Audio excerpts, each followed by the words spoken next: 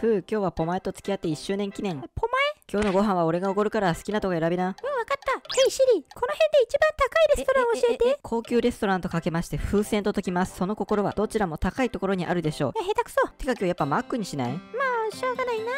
ごめんごめん。次は行きたいところ連れて行くからさ。いや、めちゃくちゃ高そうなとこ着いたぞ。えー、こちらメニューとフィンガーボールです。